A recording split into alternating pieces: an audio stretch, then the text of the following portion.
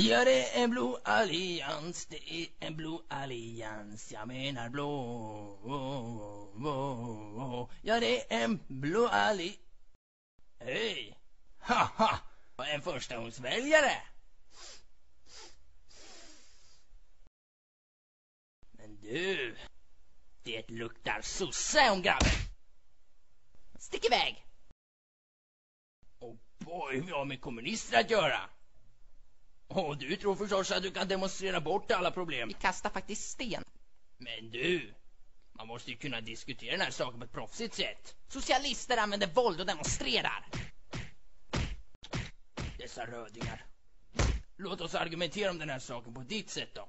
Så får vi se hur det går. Höra lite argumentationer nu då. Övertyga mig! Vänstern! Fitta! Blå! Blå! Åh nej, det låter som någon håller på att hoppa över till Alliansen. Vänsterblocket! Alliansen! Kom igen nu då, argumentera för din sak!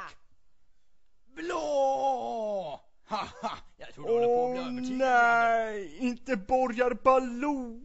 Du håller på att bli övertygad blå grabben. kapitalist borgarbjörn.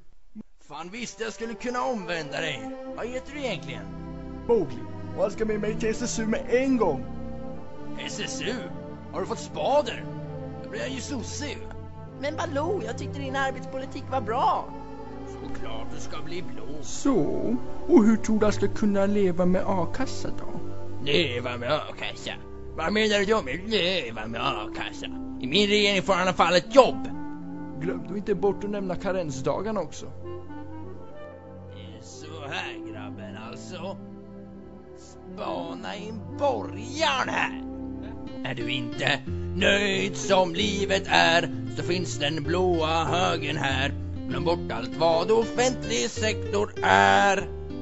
Var glad och nöjd för vet du vad, en sosse gör ju ingen glad. Var nöjd med Fredrik Reinfeldt som han är.